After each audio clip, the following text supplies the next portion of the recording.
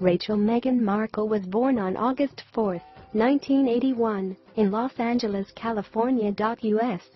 Markle is an American actress, model, and humanitarian. Markle worked as a freelance calligrapher and took on several contract acting and modeling jobs.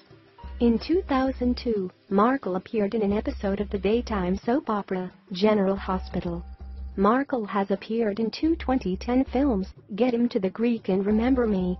Markle has also appeared in 2011 film Horrible Bosses. Since 2011 Markle has portrayed Rachel Zane on the legal drama series Suits.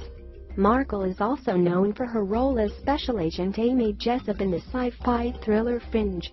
She has also appeared in episodes of Century City, Cuts, Love Incorporated, The War at Home, Knight Rider, Without a Trace, The Apostles, The League and Castle.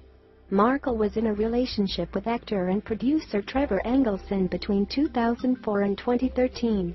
Markle married with Trevor Engelson on September 10, 2011. Due to some issues Markle divorced him in August 2013. Markle has been in a relationship with Prince Harry since June 2016. Markle and Prince Harry were getting engaged soon. Markle is friends with a number of celebrities including Serena Williams, Jessica Mulroney, and Ben Mulroney.